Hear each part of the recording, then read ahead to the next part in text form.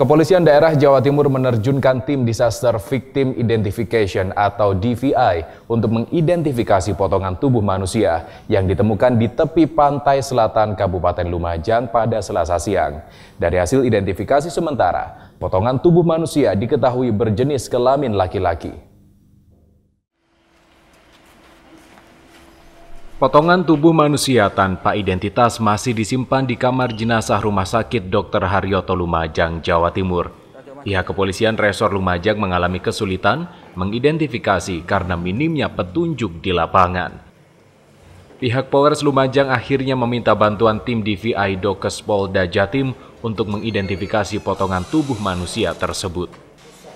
Kami berharap ya eh, pemeriksaan ini dapat mengungkap mungkin umur, jenis kelamin, kemudian ras dari potongan tubuh tersebut sehingga nanti bisa memberikan keterangan kepada seluruh masyarakat yang kemungkinan bisa ya.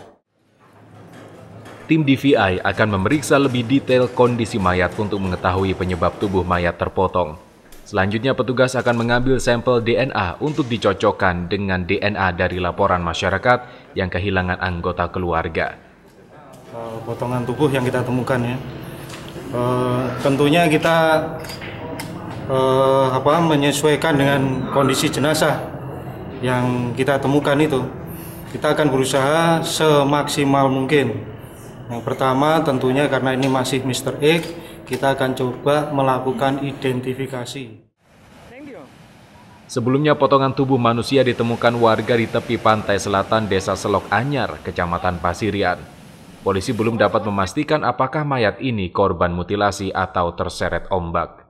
Abdul Rahman Kompas TV Lumajang, Jawa Timur.